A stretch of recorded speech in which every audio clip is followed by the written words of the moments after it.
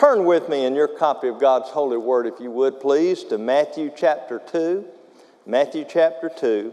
I began my first Sunday here with you preaching on the name of Jesus.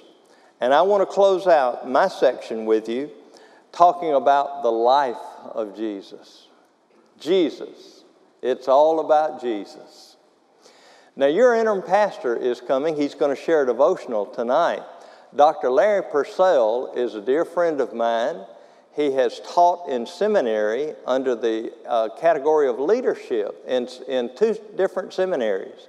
And um, just an amazing man. You will really love Dr. Larry Purcell, and he'll do great things. I pledge to you my continued prayers for the days ahead, and I, I hope you'll pray for me as well. But I believe the best days of Paducah First Baptist Church are the days just in the future. God is going to do a great thing in you and among you and through this church. Well, stand with me for the reading of God's holy word, if you would, please. Matthew chapter 2, verses 1 through 6. And now, after Jesus was born in Bethlehem of Judea in the days of Herod the king, Behold, Magi, or wise men, from the east arrived in Jerusalem, saying, Where is he who has been born King of the Jews? For we saw his star in the east and have come to worship him. And when Herod the king heard it, he was troubled, and all of Jerusalem with him. And gathering together all the chief priests and scribes of the people, he began to inquire of them where the Christ was to be born. And they said to him, In Bethlehem of Judea. For so it has been written by the prophet, And you, Bethlehem, land of Judah, are by no means least among the leaders of Judah. For out of you shall come forth a ruler who will shepherd my people Israel. And Lord, teach us this, your holy word. Teach us from your word about Jesus today. And may He be more and more in our lives until we get to go be with Him forever. In Jesus' name, amen.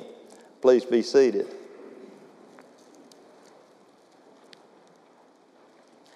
If I asked you who was the Son of God, what would you say? Jesus.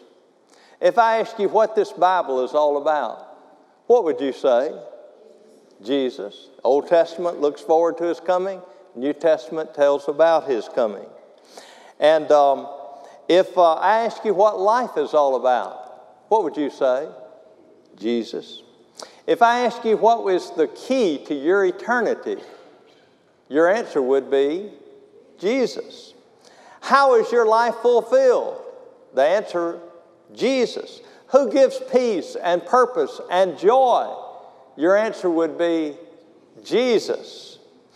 I saw a t shirt that a lady had on one day, large letters. It said, It's all about Jesus. And I think that's right. So, if it's all about Jesus, this life and the life to come, would you be okay if I took a few minutes and just gave you a survey of the life of Jesus? Is that okay? Thank you, because that's what I plan to do today. So. Charles Dickens wrote a book years ago called a, a, Tale of Two Cities. You might remember it begins with that memorable line it was the best of times, it was the worst of times. It's like when you go on a trip, the best of times, and then stop at a gas station, the worst of times. it was the best of times, the worst of times. And um, the title of the book is A Tale of Two Cities. I think we can talk about Jesus in the aspect of a tale of four cities. And that first city is on your outline would be Bethlehem. Bethlehem. You see, Isaiah said in chapter 7 that Jesus, the Messiah, would be born of a virgin. Nobody had ever been born of a virgin before or since. But Jesus was. Jesus was. And then he tells us in, in Isaiah chapter 9, all of this 800 years before Jesus came, he tells us his name would be Wonderful, Counselor, Mighty God, and Prince of Peace. And then when you look at the book of Micah, Micah tells us where he would be born. He's going to be born in Bethlehem. So we've got from the Old Testament here's a, a, a virgin born child who's going to be the Son of God and a mighty counselor, the Prince of Peace. And from Micah, that he's going to be born in Bethlehem. And sure enough, he was born in Bethlehem. Now, it came about under odd circumstances. We looked at some of that a little earlier uh, when we looked at the book of Ruth. You remember Naomi and her family were in Moab and came back with um, Ruth, and uh, they came back to Bethlehem, just Naomi and Ruth. And Ruth married Boaz through a series of providential events. And they had a child named Obed, and Obed had a child named Jesse, and Jesse had seven sons, and the youngest of those seven sons was named David. And David became the, the best king Israel had ever had. Governed the widest area Israel ever governed. King David. And it was prophesied in the Old Testament that it would be a, like a lineage of his, lineage of David, would last forever. Joseph, Jesus' stepfather, was of the lineage of David, and it just so happened providentially that uh, a ruler of Rome, required all of the citizens in all of the vast Roman Empire to go to their ancestral homes to be taxed. And so Joseph had to mount his um, engaged wife on a donkey. It was before they had come together. Back then, though, engagement was broken only by divorce. It was very serious.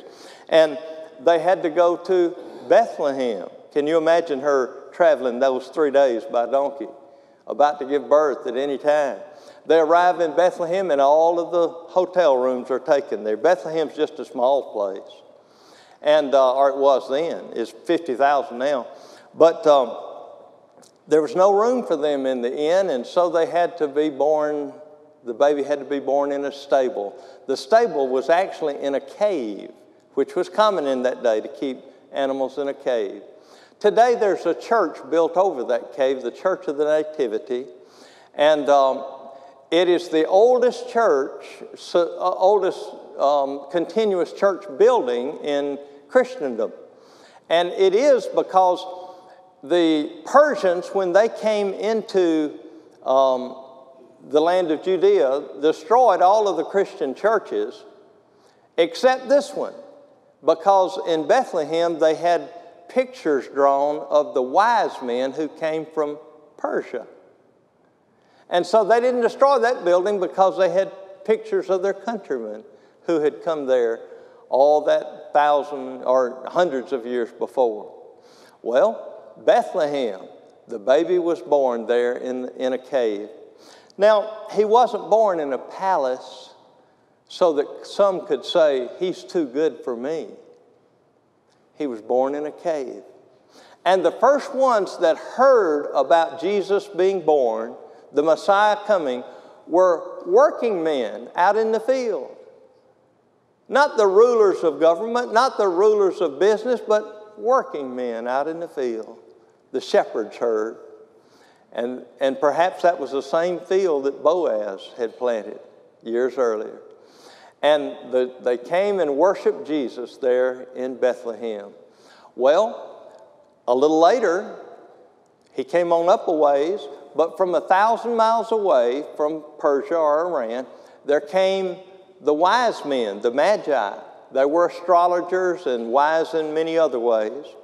They saw a star, very unusual. They kept very much in touch with the heavens, and they saw a star and followed it to uh, Israel. But it, the, you know, you can look in the sky, but you can't tell exactly where to go, just a general area. And so they went to Jerusalem and asked where the Christ was who had been born. well, so King Herod began to inquire, "Who is this Christ? Where is he born?" They looked it up in the scriptures. The chief priests, they said, Micah says he's going to be born in Bethlehem. And so Herod decreed that all of the boy babies in Bethlehem, two years old and under, now remember, it's a thousand miles from, from Persia on over, and there weren't as good roads then as there are now. So Jesus, by this time, was probably a toddler, and they were probably living in a rental house. there in Bethlehem. So he decreed that all the, the boy babies two years old and under would be killed there. But you can't thwart the plans of God. God told Joseph in a dream, Get up and get your family ready and get on down to Egypt because Herod's going to kill all the babies here. And so he did. He got his family ready. Undoubtedly, they headed out that very night. The next day, or maybe two days later, the soldiers came, but Jesus and his family were long gone. They were way on their way down to Egypt. They lived there a while, and God appeared to him in a dream again and said, Herod is dead now. You can go back. But on his way back, he found out that Herod's son, Herod's son, Archelaus, was now the ruler over Judea. And so he still felt it wasn't safe to go back to Bethlehem. And so they went back to their original hometown of Nazareth, 90 miles further north in Galilee. And that's the second. That's the second. By the way, when the wise men came, I heard about a teacher that asked her Sunday school class to draw pictures of the Nativity. You want to hear this, don't you? And uh, one little boy drew the, there was Mary, there was Joseph, there was the baby, there were the sheep, there were the, the shepherds who had come. And then he had some firemen. And she said, I understand Joseph and Mary and the baby, but why you got these firemen? He said, Well, the Bible says they came from afar. the first city, the city of Bethlehem. The second city, the city of Nazareth. Now, this also was in fulfillment of the Old Testament because the Old Testament word Nazar is the word branch. And the Old Testament prophesied that Jesus would be from the branch of David. And following through his stepfather Joseph, he came from the branch of David. And uh, so there he was in, in Nazareth. Now, think about it. Jesus lived, probably died at age 33. If he went to Nazareth, say around age four, we don't know exactly how old he was, maybe three or four. But he lived there till he was 30. He lived over 80% of his life in Nazareth. What did what did what was it like there in Nazareth for Jewish boys growing up? Well, first, Nazareth was a small town like Bethlehem had been. 500 people or less. We know that because they only had one water well, and that was about all that a water well could sustain about 500 people. And uh, when the people there gathered, they had a lot of things in common. For instance, all of the farmers that grew grapes wouldn't each one have a grape press, they would have one that the whole community would use. You can go to Nazareth today and go to a place called Nazareth Village, and you can see cut into the side of a cliff a grape press from many years ago, the, during the days when Jesus would have been there. The cliff rises up maybe 30 feet, and about 10 feet off, the, off of the floor is um, a, a, level place along the cliff where uh, sort of a bowl has been cut out. Not deep, maybe this deep. And then a, a hole through the end of the bowl so that the juice could drain.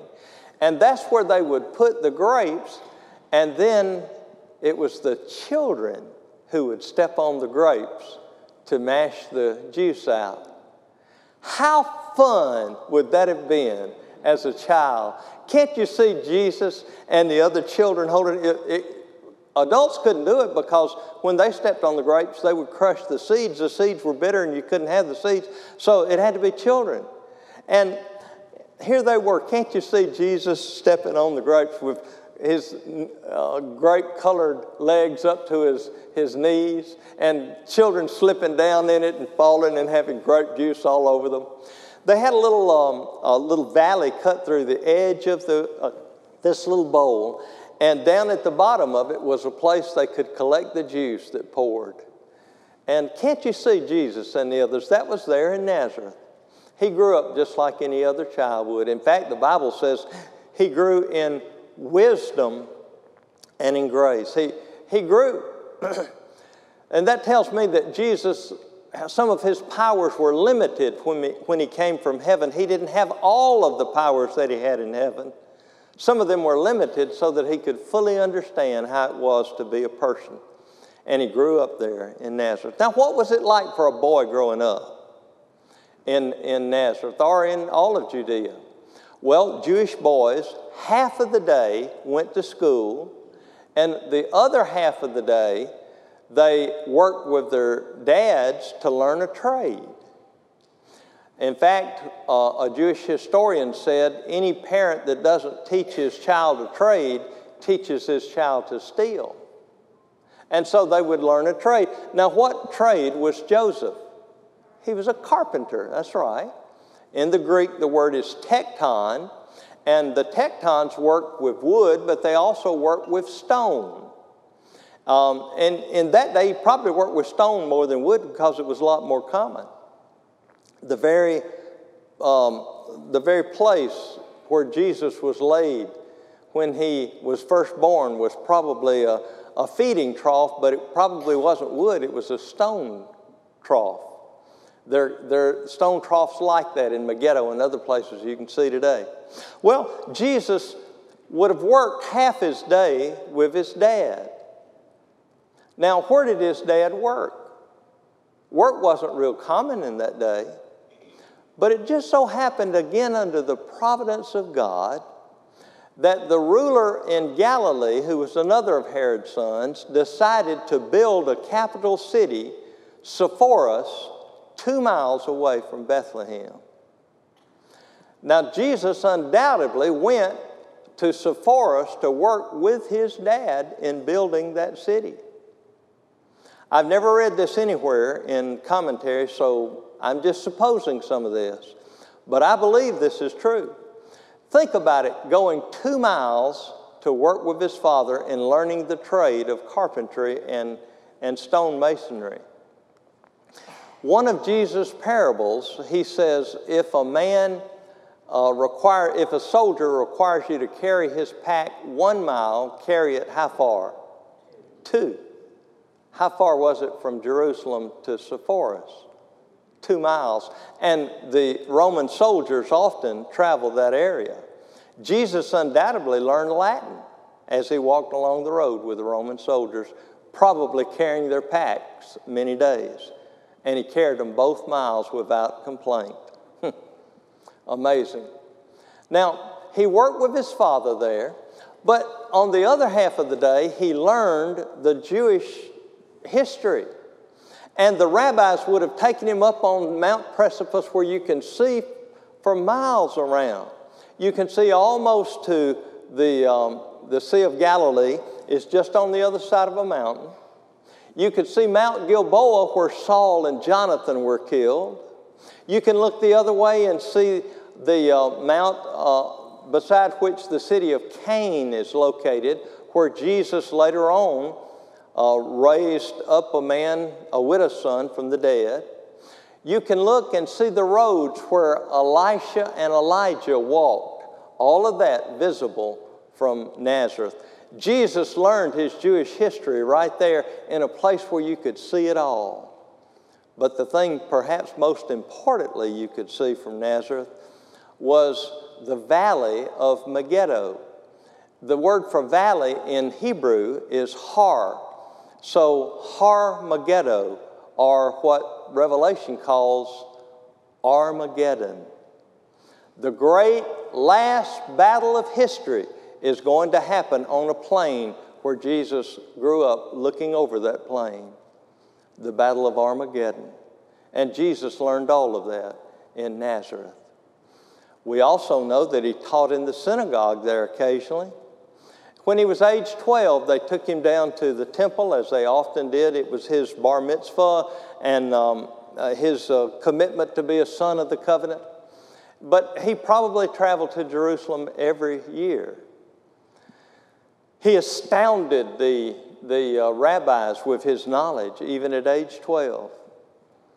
And of course, he continued to grow. And then later on, His first miracle was performed while he was still in Nazareth. Remember where it was? It was in a city called Cana of Galilee. Now, Cana was a nearby town to Nazareth. Jesus and his family went there, but when he went there, they ran out of wine. Now, they had a weak wine in that day, it, it, it was a fermented juice, but it, it was necessary for them because they had no refrigeration, of course. And the grape juice would be a low fermented, fermented wine. And so they ran out of it. And his mother told him. Jesus told the servants to get the water jars, which are uh, preparatory for the Jewish people before they entered the house to dip their hands into the jar. Those jars would have held 20 to 30 gallons each. Told his servants to take the jars and fill them with water. They filled them with water, and when they got back, the hostess of the wedding event said it was the best wine ever. He said most people serve their best first, and then when people can't tell the difference, they serve the, the uh, uh lesser wines. But you've saved the best for last. Jesus made wine, his first miracle. But notice it was at a wedding. And Jesus is still in the process of performing miracles in marriages today. I mean, you think about it. Here's a lady that grows up under her mom and dad. They have one way of living. Here's a husband grows up under his mom and dad. They have another way of living. Then you put those two together and you think it's happy ever after? Well, it may be happy, but it's not ever after. There's a lot of struggle to get to that happy ever after. It's not 50 50, it's 100 100% giving to one another, isn't it, to make it happy ever after? He's still in the process of performing miracles in marriage today. Now, one other thing about Nazareth Joseph is never mentioned after Jesus was at age 12. Most scholars believe he died. Not when Jesus was 12, but probably a little after that, maybe when he was 15, maybe when he was 20 or 22. We don't know. But who would be in charge of the family after Joseph died? It would be the oldest son in the family. Now, Jesus waited until he was 30 years old to start his ministry as a rabbi. Why did he wait till he was 30? He had to take care of his brothers and sisters and make sure they were provided for until he was 30, till they got on up where they could take care of themselves. And just think of it if that's the truth, and I believe it is, then God ordained that the salvation of the world would be delayed until the family was taken care of. Now, what does that say about the importance of the family in the eyes of Almighty God? Mm. First city, city of Bethlehem. Second city, city of Nazareth. The third city, the city of Capernaum. Capernaum was a seacoast town on the, on the northern edge of Galilee. Now, Nazareth is 450 feet above sea level, 451. And uh, Capernaum is 900 feet below sea level on the edge of the Sea of Galilee. So, a huge drop. But right on the edge of the Sea of Galilee is this fishing village of Capernaum. Peter lived there, as did other fishermen. Peter apparently had done really well in fishing because he had a large house, much larger than most of the others. His was an octagonal shaped house, eight sided house. In Mark's gospel, Jesus made his, his uh, home base, Peter's home there in Nazareth, in um, Capernaum. And um, in Mark's gospel, it says one time that they left Peter's house and immediately were at the synagogue. I've stepped off from the back of the excavated house of Peter to the foundations of the ancient synagogue is 37 steps. No wonder he could say immediately, it was right at the back door. And uh, the front door faced the Sea of Galilee, right on the sea. I mean, right on the edge. How neat it was growing up there. And most of Jesus' ministry took place right there. In fact, if you went from Capernaum and traveled a few miles over to the Mount of Beatitudes where Jesus gave his Sermon on the Mount, and you stretched out your left hand to cover Capernaum, standing on that mount looking down, and your right hand over to the southern edge of the Sea of Galilee. Sea of Galilee is 13 miles long, 8 miles across. And you, you stretched out your right hand to cover the southern edge, and you covered the, ter- the land along the edge, both sides, you would cover 60% of our Gospels. You'd hold that within your hand. 60% took place right there. It's where Jesus walked on water on the Sea of Galilee. Now, Sandy and I have also walked on water on the Sea of Galilee. Now, we had a boat under us, but hey, you know, you got to got to make the best you can make. So, the Sea of Galilee, it's where Jesus stilled the storm. The disciples woke up, the storm was about to overcome them. He said, Don't you remember what happened when I fed the 5,000 and the 4,000? That should have proven that he was the Son of God and he was able to control uh, um, uh, history and nature and society. And so he just said, Hush. And literally, it would be, Be muzzled, he said to the wind. And it died down just like that and the, the sea was calm and peaceful. I've seen it when it, you, you could just, out in the middle of it was just hardly a wave. And yet the Sea of Galilee was such that the wind would come off Mount Hermon uh, 40 miles to the north, or from the uh, Mediterranean Sea 30 miles to the west, and it would come and drop down into that bowl 900 feet below sea level and storms would work up very, very quickly, as they did several times when Jesus was there. It was at there, it was at that place where Jesus called his first disciples. It was there where Jesus said to Peter, Cast your net on the other side. They pulled up such a great catch of fish. It was at Capernaum where Jesus did many miracles. For instance, the lady with the flow of blood, which, who touched his, the hem of his garment, was healed there. And Jairus' daughter, Jairus, one of the rulers of the synagogue, asked Jesus to come to his house. And when Jesus got there, they said it's too late. The, the flute players who customarily come to funerals in, in that time, were, they were already playing. And, the, and Jesus said, Clear everybody out. They said, Why? He said, Just do it. They did. Jesus went upstairs to where she was laying, and he said the words Talitha Kumi. Talitha is the word, the feminine word for the word talit, which is the prayer shawl. And literally, what he said was, Prayer shawl, get up. And when he said that, that prayer shawl began rising. Wouldn't you have loved to have been there and seen it? And the girl underneath rose up with it and she was made whole again. Jesus raised her from the dead. Wouldn't you have loved to have seen that?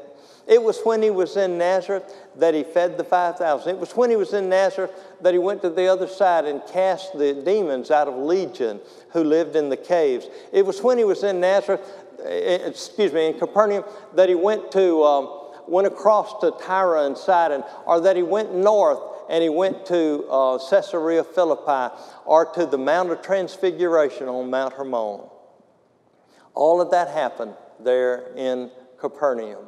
So we've covered three cities the city of Bethlehem, the city of Nazareth, and the city of Capernaum. Now, there's a fourth city, the city of Jerusalem. And when Jesus went to Jerusalem for the last time, wonderful things happened. He cleansed the temple. He performed two miracles there, only two, in Jerusalem. He healed a blind man at the pool of Siloam, and he healed a paralyzed man at the pool of Bethesda. Very interesting that he chose those two miracles because when David, King David, Jesus' predecessor, went to Jerusalem a thousand years earlier, the Jebusites still controlled that city. And they told David, even the blind and the lame can keep you out. Of course, they didn't. And he overcame the city. When Jesus came, he healed the blind and the lame. When he healed the lame man at the pool of Bethesda, it was right beside the temple of Asclepius, which was the ancient god of healing. But the man had lain there by the pool 30 some odd years and hadn't been healed until the Prince of Peace, the great physician, said, Get up and walk, and he did. Yes, and he's still healing people today. I have an idea when we get to heaven, we're going to find out all of those times when we almost died earlier, but we offered a prayer and God healed us. Yes, he's still in the process of doing so today. He went to Jerusalem. There he had the disciples to prepare an upper room. There he gave his last Lord's Supper. There he and the disciples went to the Mount of Olives, just, just beyond the, a valley and overlooking the great eastern wall. There in that Garden of Gethsemane, Judas betrayed him with a kiss, and they captured him and took him to, to the home of the high priest. And there in that home, he was beaten and questioned and, and tricked. They tried to trick him, but course, he wouldn't allow it. Are you the Son of Man? Are you the Messiah? Jesus answered, It is as you say. They beat him covered his face, and the guards beat him. They put him into a cistern, dropped down about 12 feet. At that time, it only had one opening. They had to lower him in it. And for perhaps hours, he sat there in that opening, knowing that the next day he would be crucified. No one around him, no one with him, only the Holy Spirit alone to comfort him. The next day, they pulled him out. They sent him to Pilate. He was again questioned. What is truth? Pilate said. Jesus had already taught, I am the way, the truth, and the life. Pilate wanted to free him. His wife had said, Have nothing to do with this man, he's innocent. Pilate said he's innocent. And yet, he gave in to the wishes of the people and allowed him to be crucified. They took him to a place of a skull. After the soldiers beat him mercilessly, on the Lithostrotos, the, the striated road there in Jerusalem. In the bottom of Antonia's fortress, they beat him. If you've seen the Passion of the Christ, it's pretty accurate. That part of it is. And even though he was beaten senseless almost, he, he had to bear his crossbeam. And he went as far as he could and then they forced Simon of Cyrene to carry it the rest of the way to the place of the skull. There's a cliff just outside of Jerusalem that looks like a skull. And there, publicly, he was crucified with the title above him, the King of the Jews. And your Lord and mine didn't have to die there, but he did. He died there to take my sins away and to take yours away so that we wouldn't have to have them anymore. They buried him, and three days later he rose from the dead. From the dead. On Friday, death entered the tomb. On Sunday morning, life emerged. And then he appeared to his disciples. Twelve different times to his followers he appeared. The last one was when he was on the Mount of Olives and he rose up in the sky. And I can just hear him as he rises higher be my witnesses in Jerusalem. And then as he got higher in Judea. And then as he got higher in Samaria. And unto the uttermost parts of the world. The fourth city, the city of Jerusalem. But one more thing I want to share with you, not in your outline today. It's the fifth city. That's the city of your heart. Paul said, Christ in you, the hope of glory. Jesus wants to make a home in our hearts. And that's the most important thing. I mean, think of it. All of this other stuff took place 2,000 years ago. Can it really make a difference in our lives today? Absolutely. If we receive Jesus as our Savior, He comes to live in our hearts. I have a little story here. Y'all enjoy humor, don't you? And, and that's the reason I, I want to read this last one. Children have such a wonderful way of expressing themselves. When asked to write an essay on anatomy, one youngster wrote the following Your head is kind of, is kind of round and hard, and your brains is in it, and your hair is on it. Your face is on the front of your head where you eat and make faces. Your neck is what keeps your head out of your collar. It's hard to keep clean. Your stomach is something if you don't eat often enough, it hurts, and spinach don't help none. Your spine is a long bone in your back that keeps you from folding up. Your back is always behind you no matter how quick you turn. Your arms you got to pitch with, and so you can reach the butter. Your fingers stick out of your hands. Your legs get you to first base. Your feet are what you run on, and your toes are what always get stubbed. And that's all there is on you except what's inside, and I ain't seen that. but you got to give it to the boy. At least he knew there was something on the inside. And that's why I'm sharing with you about Jesus. It's not just what he did the 2,000 years ago, it's what he's still doing on the inside. Do you have Jesus on the inside? Would you say amen? Do you have Jesus on the inside? Would you say amen? amen? It's the fifth city that matters Jesus living within. And all God's people said, Amen. Let us pray. We thank you, Lord. You're so good to us. Thank you, Lord, for your mercy. Thank you for saving us. Thank you for, for uh, keeping us.